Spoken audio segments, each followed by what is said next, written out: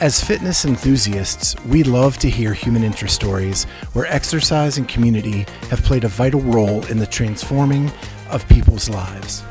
Behind any documentary are hours and hours of footage left behind on the editing room floor. Oftentimes, as viewers of these remarkable stories, we are left wanting more. We've created Beyond the Journal to dig a little deeper, hear how their 15 minutes of fame has impacted their journey. We'll see where they are now and what's next. If you like what you hear, please write a review, give us a five star rating, and subscribe to the podcast. We're also available on YouTube for your viewing pleasure. You can check us out there at the Clydesdale Fitness and Friends. I'm Scott Schweitzer. And I'm Kat Shear. And, and we're, we're, taking, you beyond, beyond the, the journal. journal.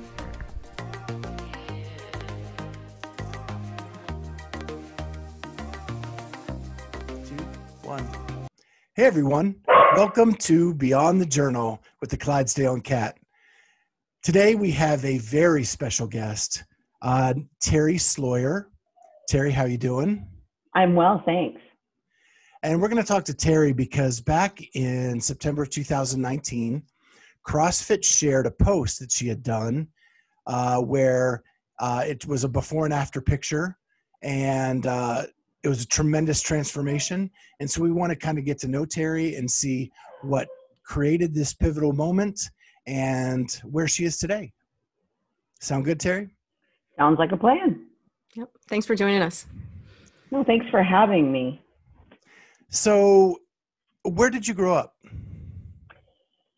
What I lovingly refer to as the armpit of the United States of America, Hutchinson, Kansas.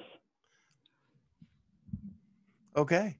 I've always called the armpit Tallahassee, Florida, but I always call it. I always call might. it the the Mid Atlantic region where I'm from. it's also the armpit. well, in Hutchinson, Kansas, that is where the horizon meets the land, and there's zero elevation anywhere, and it gets up to minus five in the wintertime and 105 in the summertime. It's awful. It's wow. an incredibly awful place no no diss to anybody that lives in Hutchinson. It's just not a place for me. Yeah, yeah. So where do you live now? We live in Houston, Texas. Nice.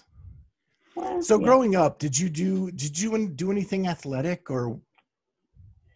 Um, well, the one thing that I was involved with that was very physical, although I don't know, although you could look at it today and for sure see the athletic athleticism in it, it wasn't quite so much at the time, but it, it was, and that was drum corps. I was in the color guard in a drum corps from 15 to 19, from the ages of 15 to 19. And um, that was fairly physically demanding. We, in the um, spring, started training, training, practicing, and uh, we, we did practice six, seven days a week, 10, 12 hours a day out in the hot sun, and we traveled my last year in corps, I was in 14 states and performed before over 80,000 people. And so that was probably the by far the most physically demanding thing I'd ever I mean that I did as a as a young child, but I in no way shape or form considered myself an athlete. Those were the cool kids. Those were the kids that I went to high school with that were on the football team and the cheerleaders and I didn't I didn't run in that I was considered a band geek because that's what I did. well, I am I am the proud father of a band member. Uh, my daughter played saxophone in her marching band. She's in college now, uh, but it was uh, tremendously tremendously athletic. She would she would drop weight every summer fall doing two a days and um, and her band was really good and they performed all over the country as well. Where was she? What band was she in? What? so I live in Columbus, Ohio, Oh, uh, okay. And she was, they're called Olentangy Orange, uh, but they've played in the college football playoffs. Uh, they've played different parades around the country, and they're more of a show band. So they mm-hmm. do the mm-hmm. dance moves while they play. Yeah, yeah, yeah. Very similar to drum corps. So, so that's what I was up to. But then after I, you know, I got married at 19 and left Kansas, and uh, by 23 started our, my family, and so anything sort of physical went to the wayside. So you became an attorney at some point. Uh, when did when did you decide to do that? I did. I I refer to myself as a late bloomer. While I did start having my family at 23, uh, and we were a military family. My husband's retired Air Force. We uh, traveled a lot, and so we ended up in Utah.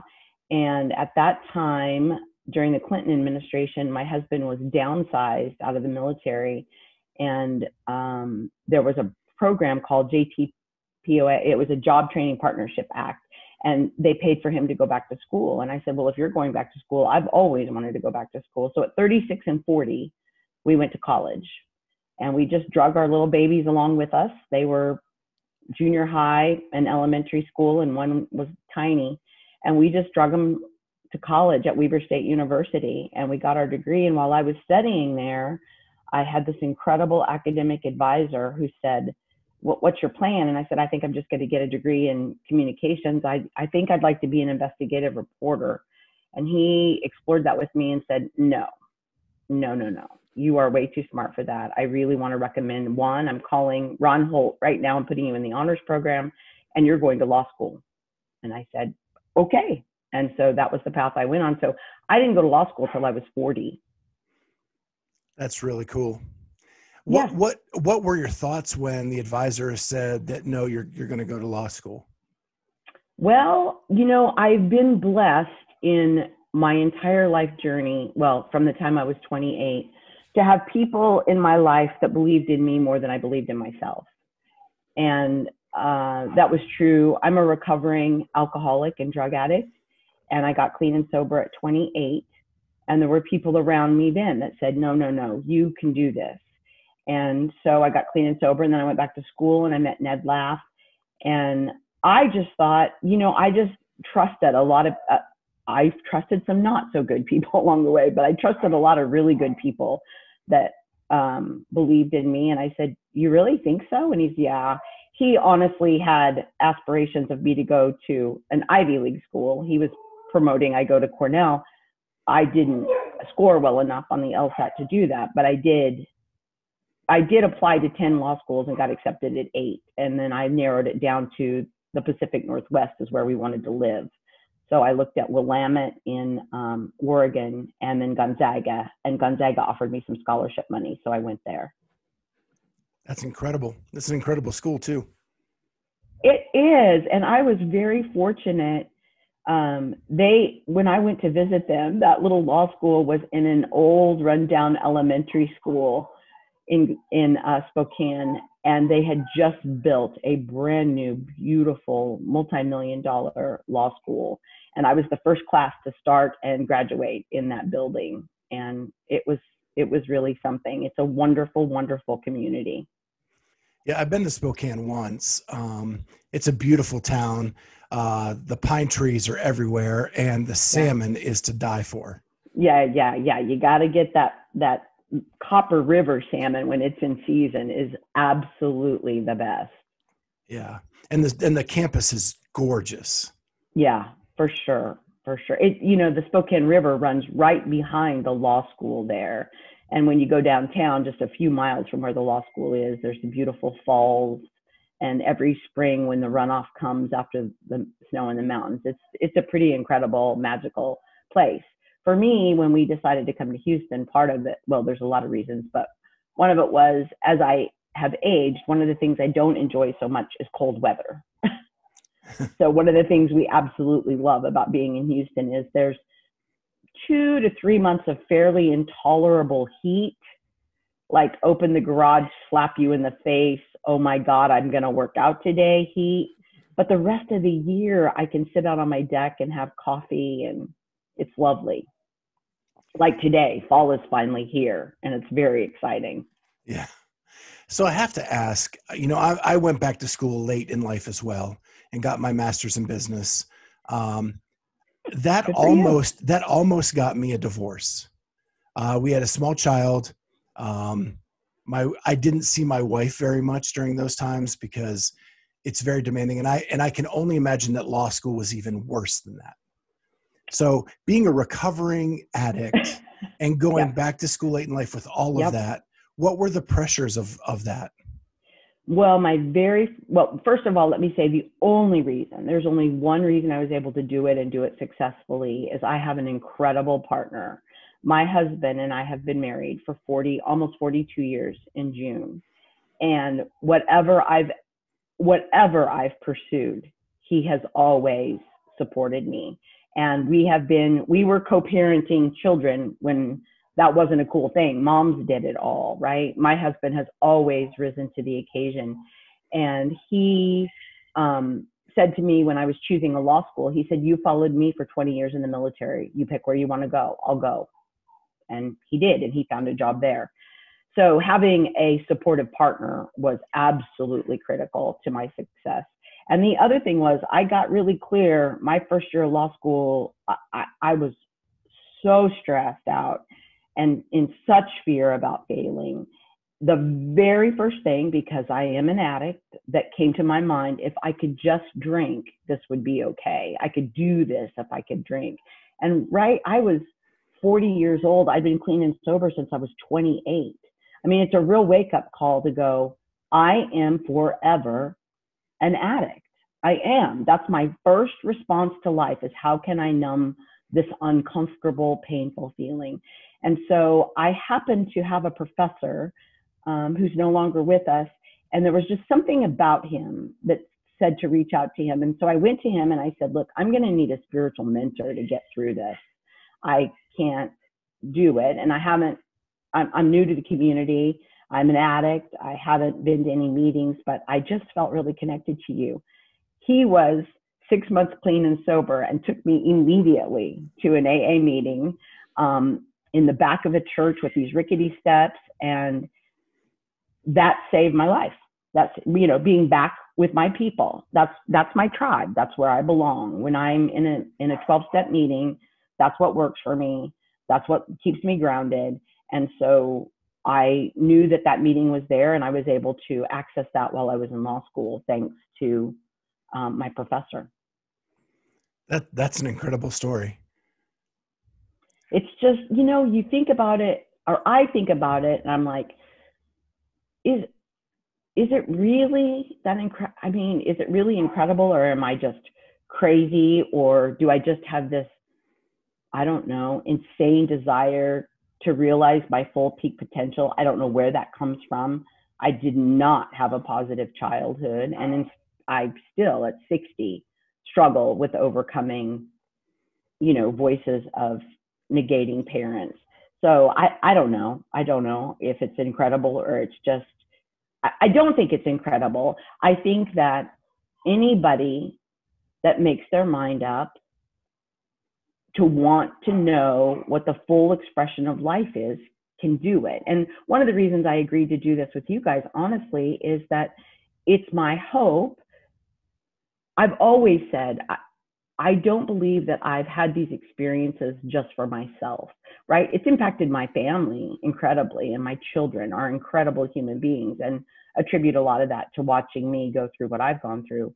But I really was hopeful that by sharing it in a, with a larger audience, that um, I would give them hope.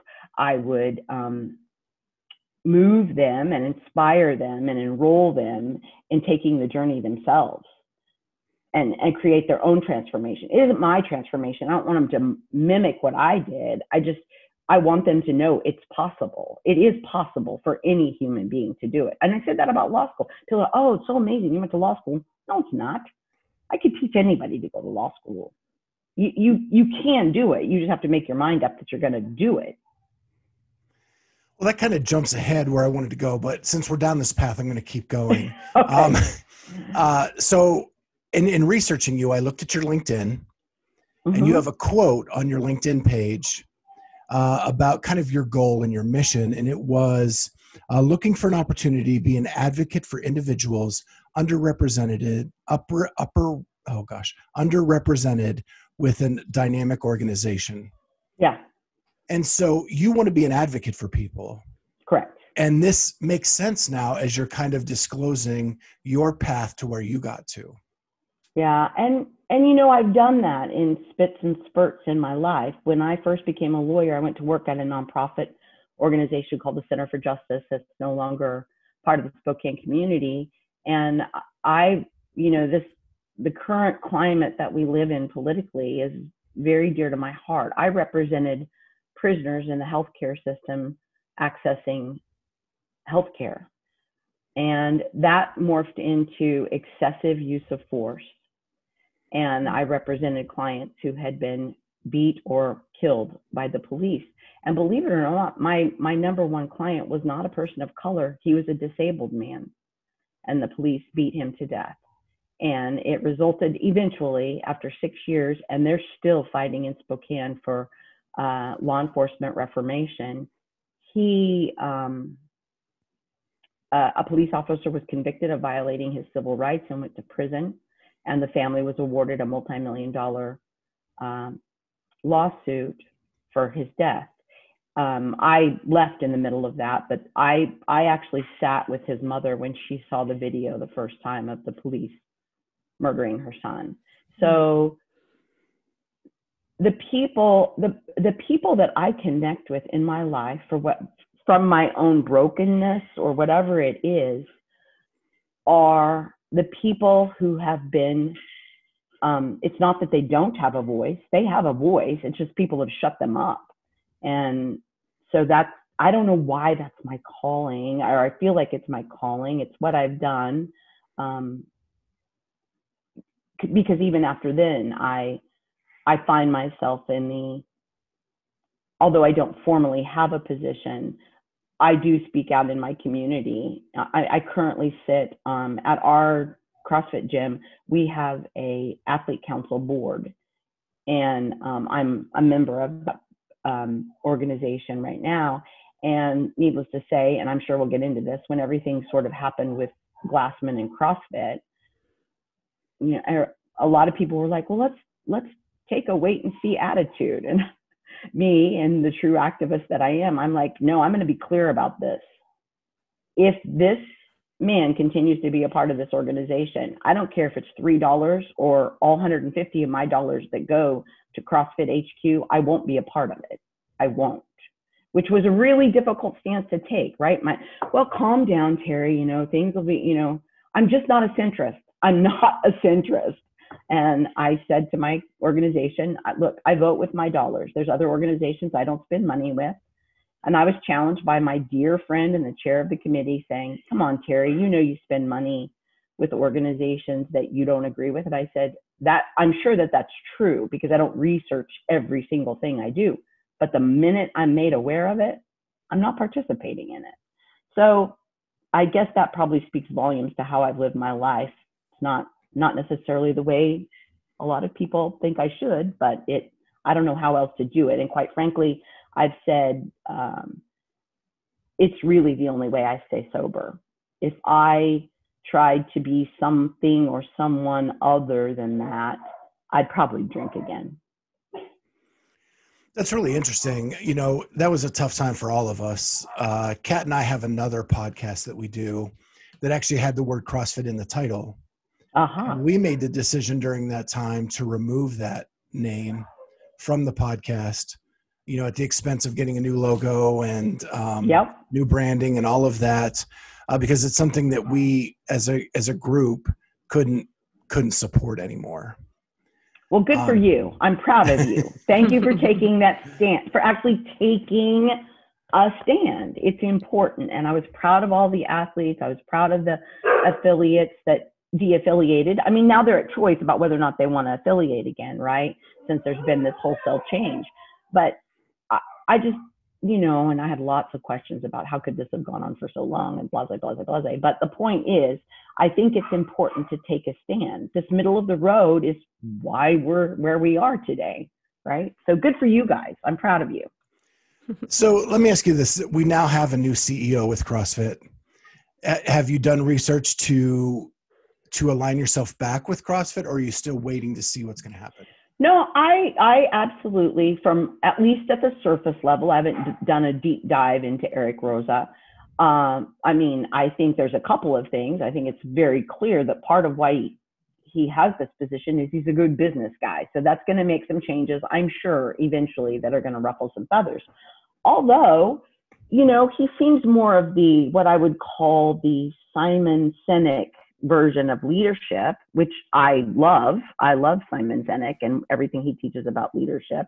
Um, I love the formation of the athletes advising him. I love the formation of the new union, the athlete union. I think that those kids have needed that for a very long time. I get why they couldn't have it as the sport was growing, why it was would have been difficult to form, but I think the timing is brilliant. Those those kids that have come together. So I, I think we're headed in the right direction. I really do. And for all the things that Glassman isn't, or that I want to be affiliated with, you know, and I said this when people were saying, yeah, but Greg Glassman saved my life. Well, well, let's get clear. Greg Glassman's methodology saved my life. I don't think Greg Glassman, based on what I've heard, could give two, you know what's about me as a human being, especially as a woman. His methodology, and I'll give you that. I will absolutely give that. I'm grateful for the methodology. Um, so that being said, I think CrossFit is back on on a probably a better track. And you know, absolute power corrupts absolutely, and I think that that's what happened. There were just way too many. Uh, what do I want to say? Too, just he had too many eggs in his basket, right? There needed to be more of a, and it probably had to happen that way, or CrossFit wouldn't be where it is. But I'm very grateful that he's divested 100% of his interest. Um, I, I think it's just sort of ironic that we talk about health and fitness and CrossFit, and I said part of health and fitness is mental health. Clearly, the leader of the organization had some issues there. So you can talk to me all day long about physical transformation, and that's great. And it's one of the things, quite frankly, I love about my gym. Um, CrossFit Stonecutter, Josh Wilson, who is the owner and our head coach, he says, Yeah, I'm not in the gym business. I'm in the business of developing human beings. We happen to use fitness as a methodology to get there, but it isn't, I mean, that's just a portion of what we do, right? It's the holistic approach to how to be, to realize what Logan Gelbrich calls your full peak potential as a human being. So you also do your Gym's podcast. I did. My daughter and I've gone back and forth on that, and she's back on it this this season. Okay, so you rotate with your daughter. So what what does that give you um, in your adv- advocacy journey and also your CrossFit journey? Yeah, it's a really lovely combination of the two, right? So we've had a lot of really meaningful discussions um, that Josh, quite frankly, a number of them have been Josh and I, and Josh and I have these conversations outside of the podcast or, you know, at the gym. And so he and I have been able to really share that, those conversations with our audience. Um, and one of the key things that we've talked about a lot that I think is the foundation of why we are successful at Stonecutter, and that is um, our core values. The gym has a very clear set of core values that define who we are and how we hold ourselves with each other in community at that gym. And I'm super proud of that. And it's hard. Look, it's not easy. It's not just like we've got these nice words on the on the wall when you walk into the gym. Part of what the athlete council does is hold Josh accountable to those uh, core values as well, right? He's a human being. He needs people to check on him just like we need each other. And we've been pretty successful, painfully so in some cases, to have real hard conversations. And they all stem from holding the standard of maintaining what those core values are. And so I feel like that was a way to be able to advocate for um, a holistic community to hold our community together. Who who came up with those core values, Terri? Josh did. I they were already there when I came to the gym, but uh, Josh had. I know that Josh has been highly influenced by Logan Gelbrich, who we now are all sort of um, Logan Gelbrich groupies, if you will, his Going Right book. And um, Logan started Deuce Gym in Venice, California, and kind of considered himself, quote unquote, a pirate. And Josh really liked that whole concept. And so he had been studying Logan and the success of Deuce Gym in Venice for a couple of years, I think, before he even started uh, Stonecutter. And so he was pretty clear about having core values that would guide the direction of our community and that um, there would be an accountability piece to not just putting him on the wall and doing that, but there's this whole hold the standard that Logan talks about in his Going Right book about make, making sure that we're not stepping over, but we really are holding each other accountable to those core values. Mm-hmm. Is there is there one of those core values that you find more difficult to adhere to than the rest? Hmm. Is there one that hmm. challenges you the most? I think for me personally, my personal one probably is indomitable spirit. Like on some ways I think I do, and then other ways I'm like, no, you're kind of a you can whine sometimes, Terri. And when things get really hard, you're you know, where's that indomitable spirit? I mean, that's a big that's a big thing. Indomitable spirit. When you just break that apart, just those two words, it's like in my mind, which probably isn't the healthiest place to be in your life, in my brain. It's like that's a never failing, always uh, present, I'll never give up sort of uh, way of being in the world. And I don't know that I'm always that way. And in fact, I'm working with Josh right now on my own development in recreating or creating, recreating um, my relationship to failure. Mm. I have an unhealthy, very unhealthy relationship with failure. And it's one of the reasons that CrossFit has been so hard for me because I want to. In my, I know this is going to sound absolutely insane. If I'm not performing at the level of a games athlete, why am I doing this? I know that I know that sounds insane. In no way, shape, or form, but I always feel so much less than. That's that's about me. That's not about CrossFit. It's not about my community that supports me and everything I've I do and everything I've done. It's the insanity that I have in my brain. And so failure to me, so I finished last in the WOD, that was a failure in my mind. And that means I'm a failure. And that's just not, Josh is really working with me um, on failure is just simply, Terri, an opportunity. It's information that you take in and you say, okay, well, what about that? What, what does, why did I come in last? What do, how do I want to improve? Is really coming in last, does it matter at the end of the day, right? Josh, vis-a-vis Logan, the commitment is to the process. And so that's what I just took on a big journey. At the end of the year, I have set a goal. I'm participating in a pediatric cancer fundraiser called Snowdrop. And every year, and I did it last year, it's called the Ultra 55. And for 55 hours, we run. And I did it on a relay team last year. And this year I've decided to run as a solo runner. And in those two and a half days, I want to hit my 100 miles. I have a little boy that was the grandson of some dear friends of mine from high school, and he passed away from pediatric cancer. And so I'm committed, I'm doing this for Carter. And Josh said, I'll do this with you. You need to understand that if you don't hit the 100 miles, you haven't failed. You must be committed to the process and let go of the results. The results will be whatever the results will be. And there's going to be things, Terri, that you can't control. There's a lot of things in your training you can't control. You can't control the weather. You can't control that at mile 85, if your hips freeze up and you can't go anymore, that you failed. You will have learned something by that.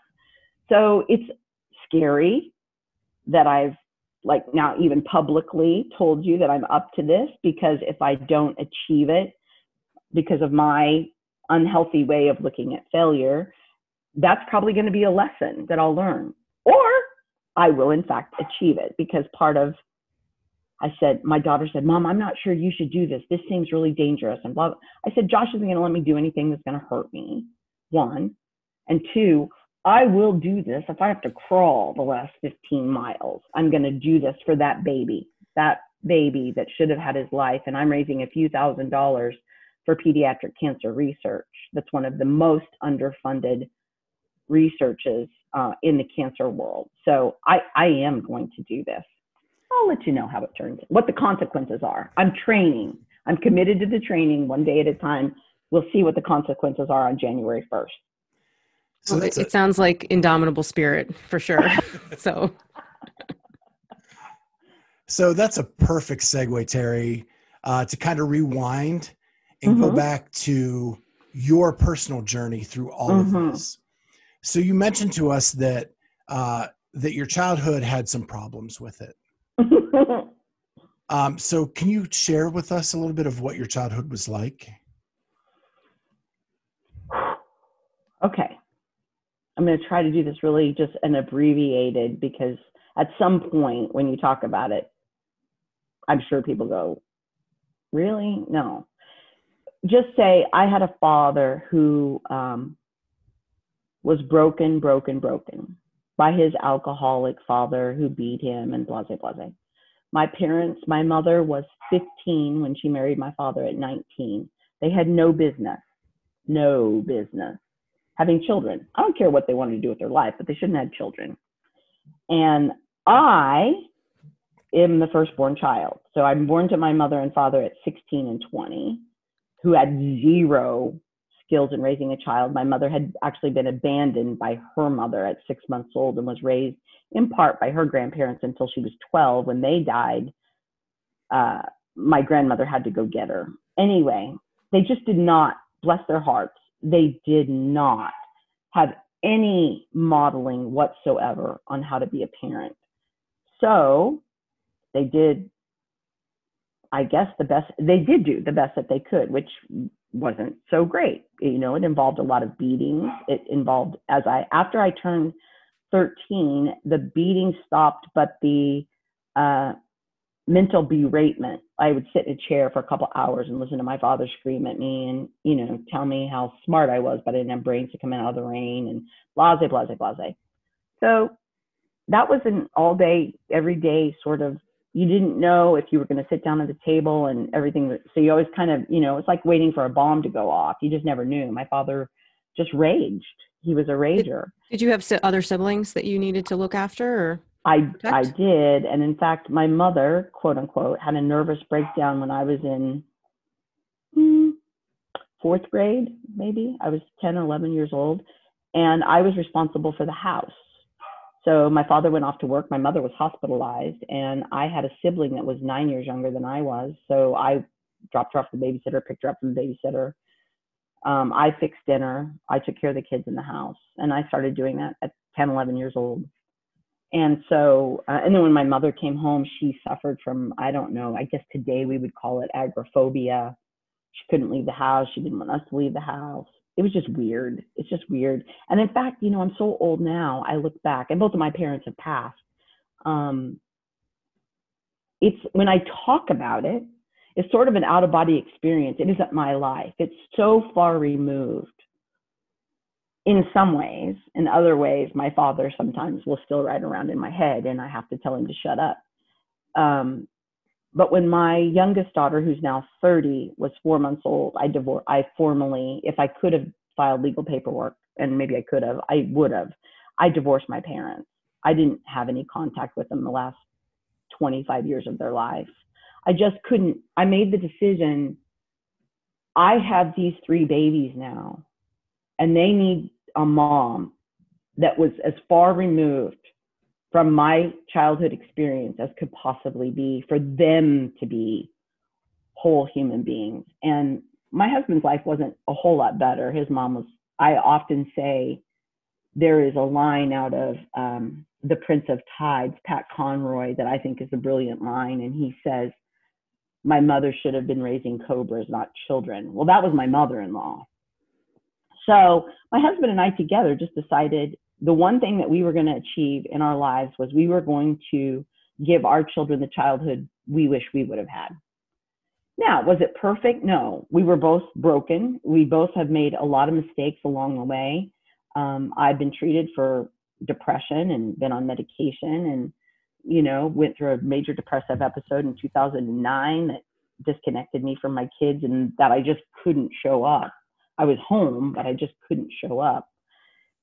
And so um, it wasn't perfect, but I am happy to report my children are now 37, 35, and 30. And I just sent them all messages last week telling them how proud I am that they're very engaged politically, they're smart, they're compassionate, they care about humanity, they care about the people around them, they care about the global community. And I was listening, I was listening to my youngest and my oldest have a conversation on the phone the other day. It is probably, well, it is without a doubt the thing I am the most proud of that I've done in my life is to have these three kids that are out in the world raising the consciousness of the community about what matters. And they're all very committed um, in terms of relationship, family relationship, global relationship. So that I'm really proud of. So in some ways, well, in a lot of ways, my husband and I, feel have broken the cycle in our family. That's really what we are up to. And um, we only have two grandchildren. My middle daughter has two children. My oldest and my youngest don't have any children yet. Uh, and they're as committed. But my youngest is a school teacher, and she brings all of this sort of the way I'm talking. You could hear her in the classroom. So I feel like we're trying to multiply the positivity of breaking the cycle and what we've what we've done in our lives.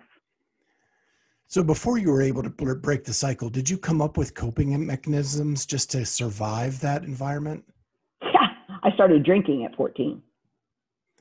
I That's... drank until I was 28 years old, and you and later in that started using drugs. So that was my that was my outlet is drinking. That's how I got through it. And so, at what point did you realize that this coping mechanism was actually a hindrance? Did did you come to an epiphany, or did, were you brought by yeah, someone else? I came to an epiphany. I was 28 years old. I had two children. Um, we lived in a beautiful home in Enid, Oklahoma, with a swimming pool. Like we were living the idyllic middle class life, right? Little brick house, little swimming pool, two little babies my husband and I, everybody's blonde headed and blue eyed, and well, my daughter's a redhead. But anyway, we live the idyllic American life in the middle of Enid, Oklahoma. Like, if you picked up a book, that's what people write about. And I was drinking. I would, I thought it was cool to drink Bloody Marys at 10 o'clock on a Sunday morning while I was making pancakes for my children.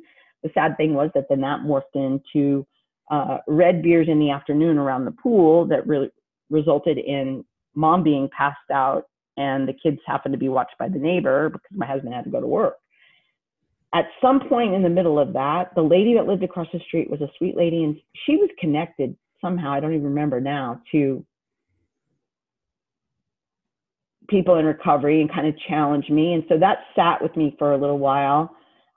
I knew I was miserable, but I didn't know really what to do about it. We then moved to Edmond, Oklahoma, a suburb of Oklahoma City and here's how I started I was overweight and I was addicted to sugar. So I went to a 12 step meeting for overeaters. Hmm. And I started down that journey and I decided to give up sugar because that was a problem. Well, what happened about nine months into being sugar free is I wanted to drink so bad I couldn't, like, I just was white knuckling it. And I happened to be blessed to find this group of people that were all different kinds of 12 step 12 steppers. Some were in AA, some were in NA, some were in OA. And I got invited to this home meeting with these people. And I heard the alcoholic sharing. And I was like, oh, wow, that really resonates. And I picked up the phone I called one of those ladies and I said, hey, Emily, I have a question for you how do you know if you're an alcoholic? And I'll never, I mean, it's like it happened yesterday. She said, Carrie, people that aren't alcoholic don't ask themselves that question. And I went, wow. She said, I'll meet you on Saturday at the noon meeting. And I started in my recovery, my real recovery then. And that was 30, 32 years ago. That's so a great story. Yes. So that's ironic that your being overweight is what led you to discover that you were an alcoholic. So that's kind of what we wanted to like end this story on is the po- the picture that was posted on uh, social media by CrossFit is a, a before picture with you being overweight and you conquering that as well. So, were you overweight your whole life? Was that something you always wrestled with? You know, I'm a serial weight. I probably gained and lost a thousand pounds in my life. I'm not exaggerating. I've I've yo-yoed and yo-yoed like it would get out of control. I will tell you that um, once I was diagnosed with type 2 diabetes, which was probably 15 years ago, for a few of those years, quite a few of those years, I refused to do anything about it or take anything or, you know, they tried to put me on oral medication. It made me sick.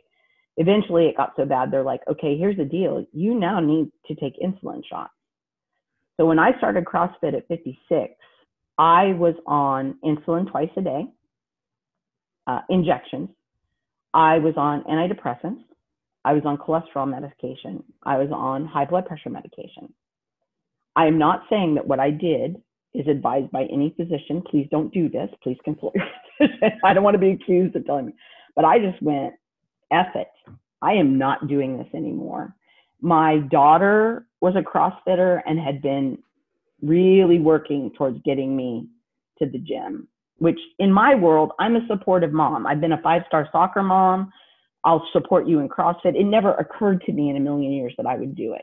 Well, she had a really sneaky way about it, and she introduced me to Zach Anderson. And she said, Mom, you're going to love Zach. And I went and met him at a, a competition that the, those kids were doing. And I was just being the supportive soccer mom, was my role, and meeting her coach is what I thought I was up to.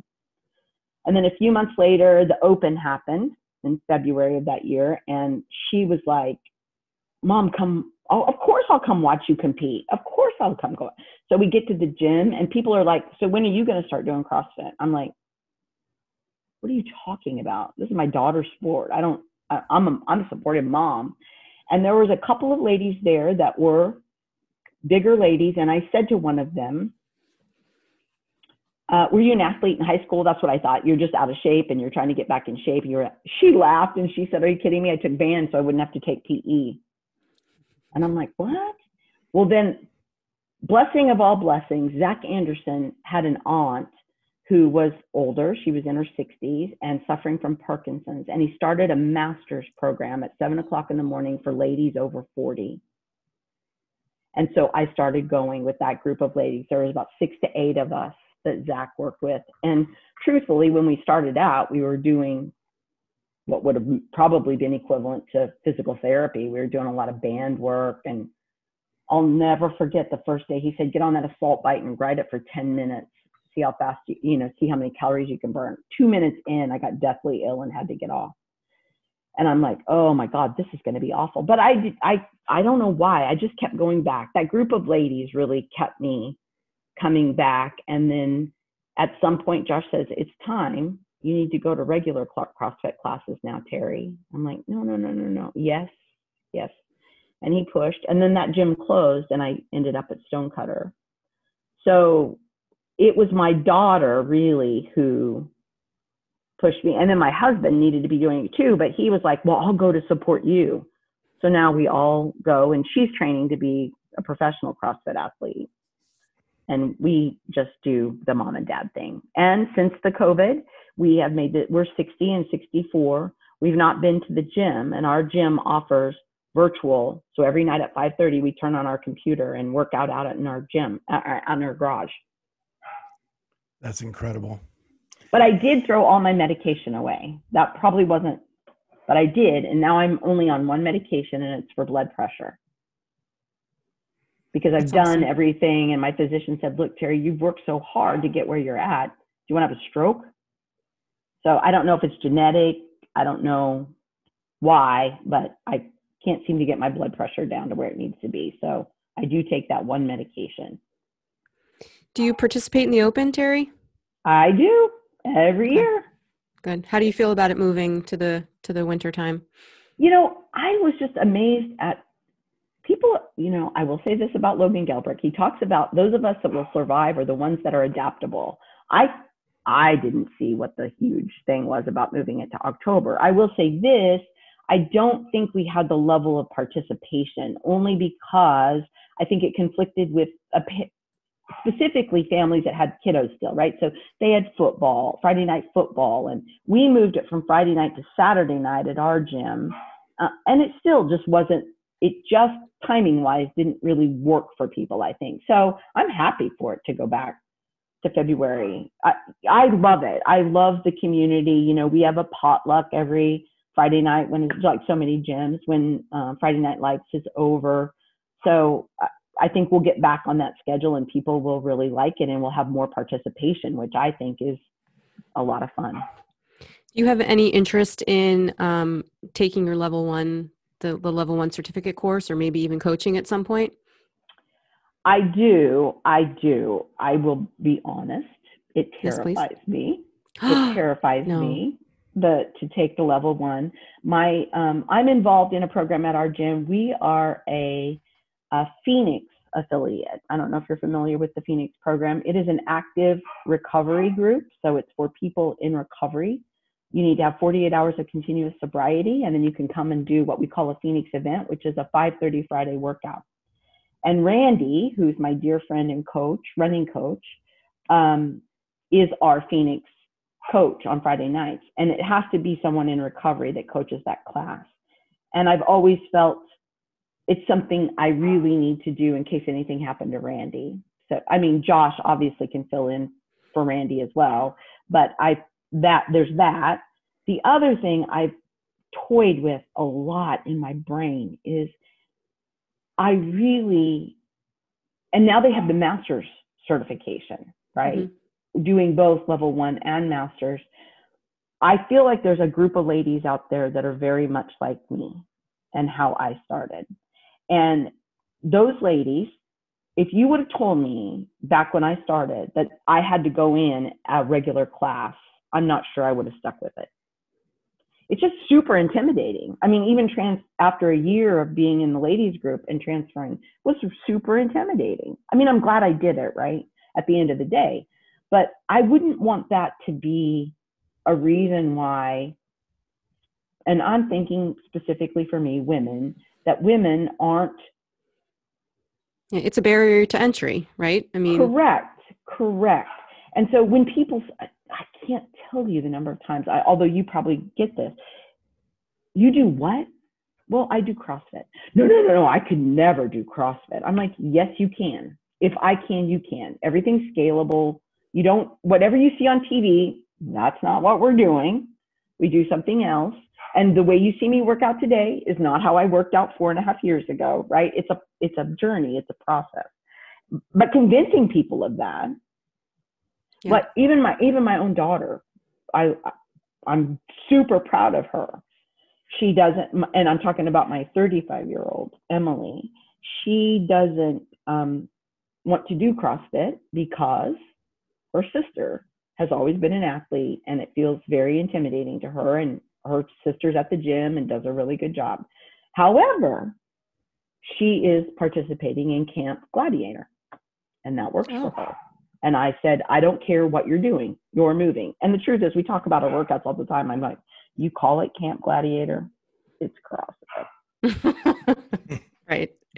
Yeah, it's interesting. I um I started a, an affiliate in May and it's called CrossFit Clarity and the whole concept of it is to cater to people that would never think of walking into a CrossFit gym, right? So even the the programs that we write, the workouts of the mm. day are are the scaled version of the workout, but it, we don't call it that, we just call it the workout, right? And Right. and so so, there's no come in about RX versus people can do the workout that's on the board the only people that might modify it are people that are more advanced and i figure we'll put the burden on those people to make it I harder like for that. themselves versus putting the burden on the people that are new having to scale down. So we just start with this is what you're doing and if you'd like to make it harder, figure out a way to make it harder, talk to your coach. Instead of, you know, the person that's maybe shy or intimidated, they don't want to have to go to the coach and say, "Well, what can I do instead of?"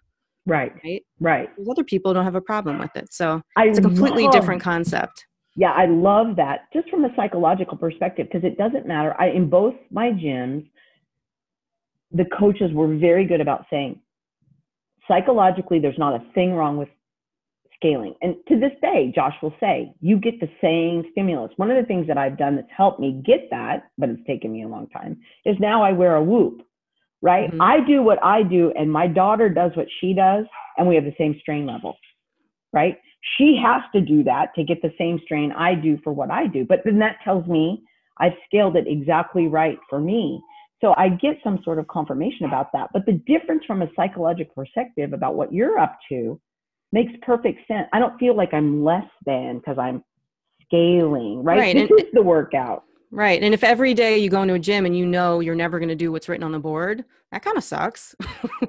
You know, for some for some people, they don't they want to see something that they can do. Where are you so- at, Kat? I'm in? Delaware.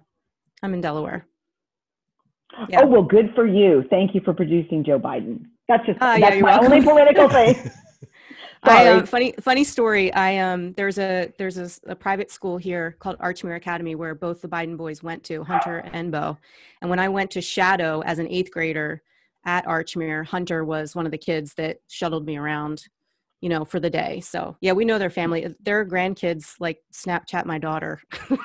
it's Oh it's surreal. She's like, I think exciting. I think his grandson just Snapchatted me. I'm like, okay then, there you go. Oh, that's great. I yeah, love it. super cool. So But anyway, yeah. So I- go ahead, Scott. so I don't want to miss out on telling people about your transformation. So I want to make sure we get this into the podcast. Okay. After this hour, I have learned that you have been a badass your whole life. Pretty much. I don't know You about know, that. and but thank so you. so but you made a physical transformation. And I what did. are the details of that physical transformation? Okay. So first, the first thing I always want to tell people when they ask me about my transformation is it didn't happen overnight. This is so far, so far, I've been at this four and a half years. It's hard to imagine your first day that you're going to do it four and a half years. So I'll tell you what, I have approached CrossFit the same way I have approached not drinking, one day at a time. I don't, and I had, and I'll tell you the best advice, the not advice, but the best approach is Logan Gelbrich's going right. You decide that you're going to follow a process and you have got to let go of the results. You can't, I just don't think you can start out, or I couldn't start out going, well, here's the thing, Terri.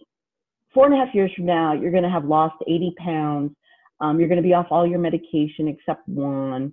And um, you're going to be doing workouts you never dreamed you could ever do in your life, right?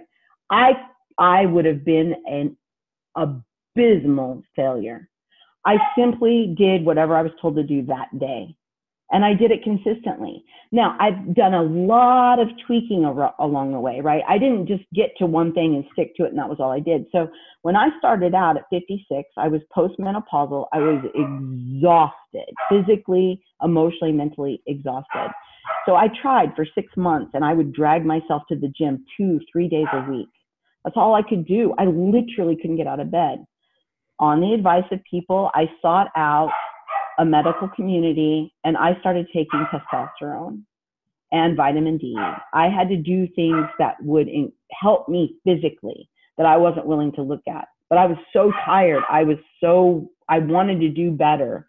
So I had to I had to add things along the way. My, I will the one thing my coach said early early on and I said, "Wow, I got to listen to that." He said, "Terri, Terri, listen to me. 80% of your results are in the kitchen. 20% happen in the gym." So I started on a nutrition journey. Is it the nutrition where I am today? Is that where I started? No, it's not. I was working full time. I was tired. I was trying to do this and I and I understand that this is a privilege. I began to um, order pre-packaged paleo meals and have them delivered to the gym. again, I recognize that's a privilege. I went from that to when I went to my new gym, there was a new uh, gal there that did nutrition, and I worked with Jen for a while. And Jen would do our meal plans and tell us what to fix, and we would fix it. She would decide on what our macros were, and I did that. And during that period of time, I I was eating, and I kept thinking about it. I'm eating a lot of processed food. It was healthy, but it was processed, right? So there was bread that we used, or there were tortillas that we used. There was all this, and I'm going to be, I hope this isn't inappropriate, but looking back, what we call it now is we were having sex with our pants on.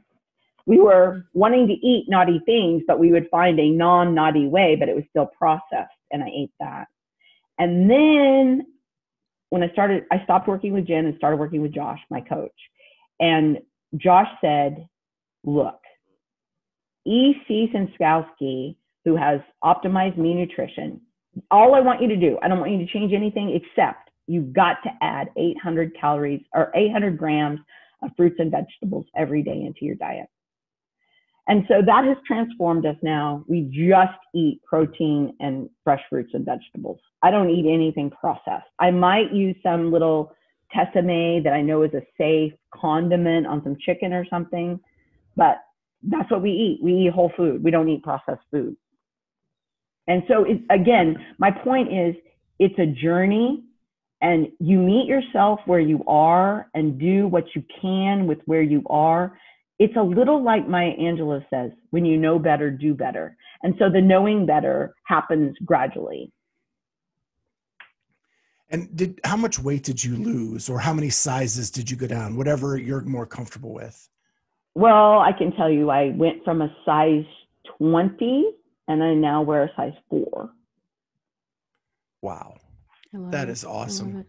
Yeah. And I, and I love that you stress the importance that it's a journey. It's not an overnight thing. It's something that you have to uh, take on uh, every day. And it's funny that you say that the EC way of the 800 grams of fruits and vegetables.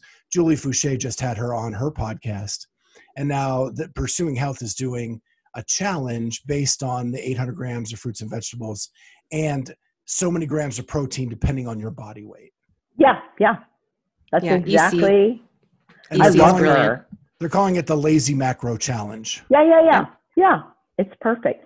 You know, my daughter has to dial in hers more because she's training for a specific thing, but it's it's working for me and I'm I you know, I'm eating more fruits and vegetables, real fruits and vegetables today than I've eaten probably in my entire life. Yeah. It's got it's and it's still and it's still a challenge. I'm going to be honest. You know, my daughter and I go round and round. Mom, you're not eating enough. I still have this mentality that somehow if I train more and eat less, Mhm. I'm going to get better results quicker. And it's just, I, you know, I had a really hard training weekend and I forced myself. I forced myself to make sure that I had the nutrition. I woke up this morning, I'm 96% recovered after 20 miles of running over the weekend.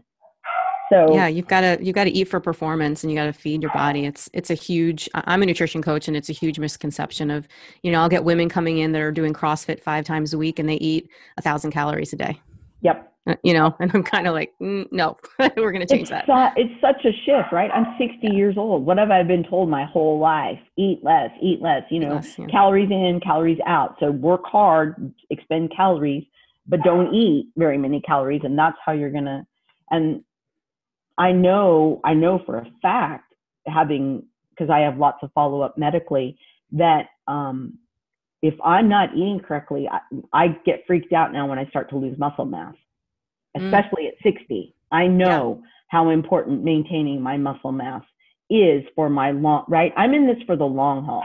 The one phrase that uh, Glassman gave me that I still love to this day is you can do this or you can eat green jello the last 12 years of your life.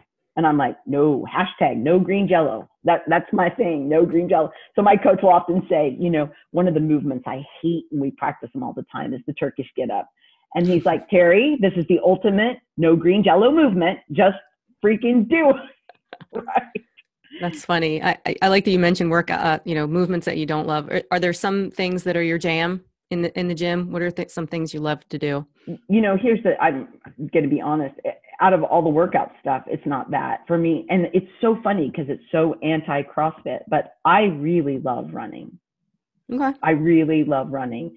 I find it super meditative. I'm by myself. I get to listen to the music that I want to listen to. Um, so for me, it's running. I can tell, I obviously, this is not good. I can tell you the movements I hate. I hate rowing. My husband loves to row, but I'm only five foot one. Like rowing isn't my jam. Um, I don't mind doing burpees. It's not my favorite thing, but I know that I have an advantage given given my height. Sorry. Um, so um, I like a traditional, like we did one Friday night with Randy, just a traditional uh, burpees, box step overs, kettlebell swings, like AMRAP. Those mm-hmm. I really love just a traditional, straightforward CrossFit workout. Anything that has to do with hard central nervous system stuff, I hate. It's the, the coordination thing at 60 to to do. Although you know, I started out, I couldn't even do that damn Turkish get up, and now I can do them. I don't do them heavily weighted, but I can at least do them and understand, not have to think about every single step to get my body to do it. Yeah.